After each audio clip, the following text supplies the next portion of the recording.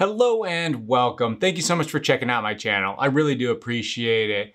On today's episode, I'm gonna give my first thoughts on which is the best tool watch from Rolex. The Rolex Submariner Date, the Rolex Explorer 40, or the Rolex Explorer 2.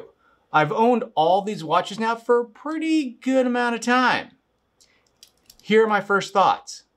My name is Cheyne Walls and I make my living as a fine art nature photographer and explorer. I've come to truly depend on my tool watches when I'm out in the field. Whether it be timing my hikes or timing my camera exposures, tool watches are an intricate tool in my photography process. And these episodes on this channel are based on my amateur watch collecting journey as I search for that ultimate tool watch. For those of you who watch my videos, as I'm sure you've already noticed, the background's different on this video. We're doing a little bit remodeling, but we'll be back. We'll hopefully have a cooler background here in the near future. So here we go. Which is the best Rolex tool watch? And I know a lot of you are already asking, well, what about the Sea Dweller and the GMT, the Master 2? I felt with this trio, we're still somewhat covering those two watches in the way that the Submariner has the exact same movement as the Sea Dweller and the Rolex Explorer 2 has the exact same movement as the GMT Master 2. So if you're looking at it in that way, whatever one, they can just relate to those two watches for those watches that aren't appearing here. And as for the Daytona, I'm, it, in definition, it is a tool watch, but I'm, I'm discounting that. One, it's almost, it's nearly impossible to get as well as two, it's really not the best chronograph watch out there. There are a lot of other watches that are much superior to that. So we're sticking with these as for what is the best tool watch that Rolex makes.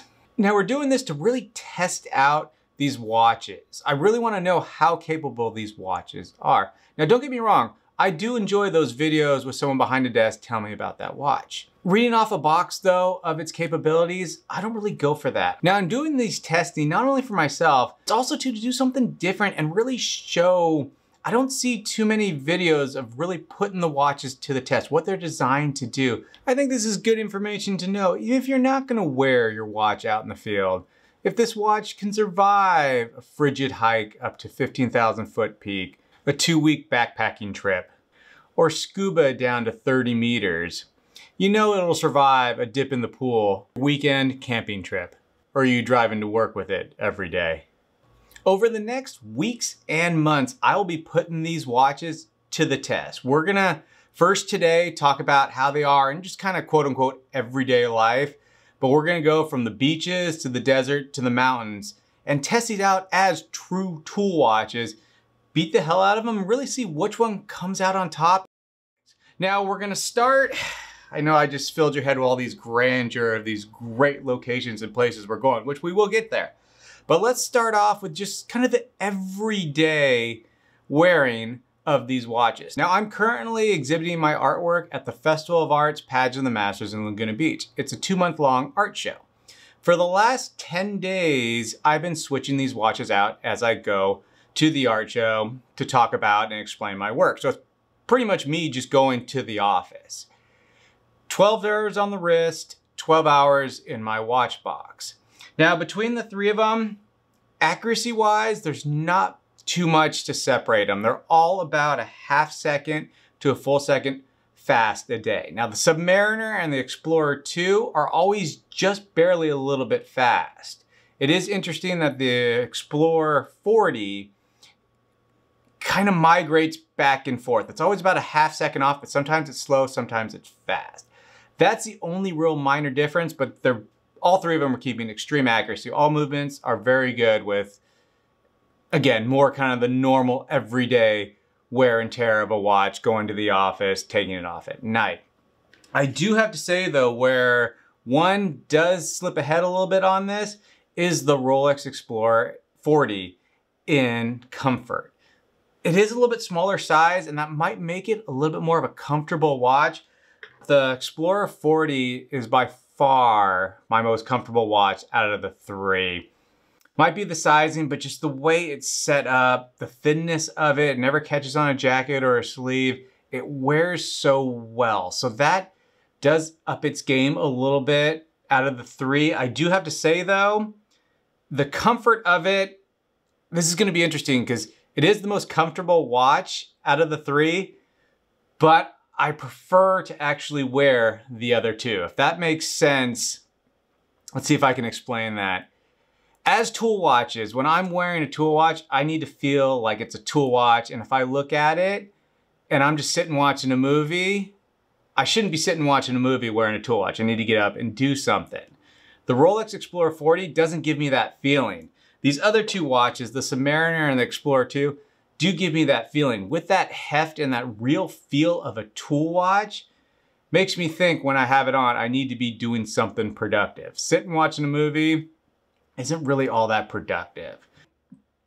We'll set up a scoring sheet in these later videos. I'll figure out, how to think long and hard about how to score that because it is, and I, I definitely need some more thought on that in the way that they're all very comfortable watches. Not neither one of them is uncomfortable, and I would say out of all the watches I've really owned, these would be at the top comfort-wise, especially for a metal bracelet.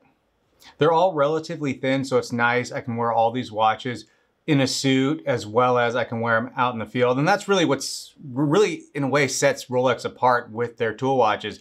They can be worn out in the jungle in just hospitable conditions, as well as with a suit at formal events. And that's what really drew my eye to these watches in the first place. As for going to the art show every night, it is nice that all three of these I can wear. I sometimes I'll go photograph, sometimes I'll go surf, and I don't always want to come home, but all these watches I can wear on my wrist without changing watches depending on changing events or situations, what I'm doing in the day. And these cover all that very well. Having a date function has become very useful and I am missing it just a tad on the Explorer 40.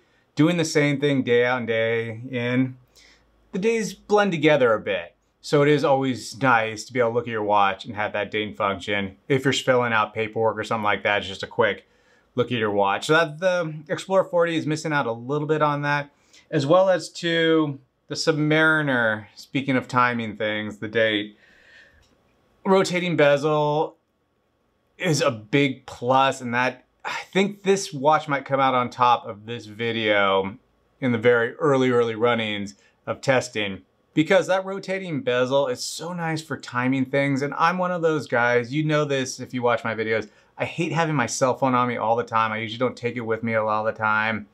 Just leave it at the office and stuff. But it's so nice to time my prints and even just set a little reminder that, hey, when it hits this time, I need to get going. If I need to be somewhere at a certain time when I'm out surfing or something, I can set that bezel and I know when the minute hand hits that, oh, it's time to go because it's going to take me 20 minutes to get from this point to that point. It is a nice little function. It takes a little bit off your brain. There's so much going on right now. Just the simple little things in life, I guess.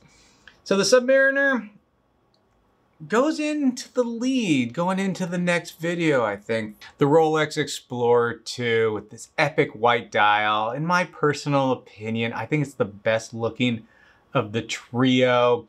It might not be the most elegant. It might not have the best proportions. It just, it looks like a true tool watch with just a slight touch of elegance. I really love that about this watch. Explorer 40 is the most elegant. It does fit the best with the suit and it's been very nice to wear on these hotter days where I'm constantly suit on, suit off, or excuse me, jacket off, jacket on. That's been nice, but the Submariner has timing. So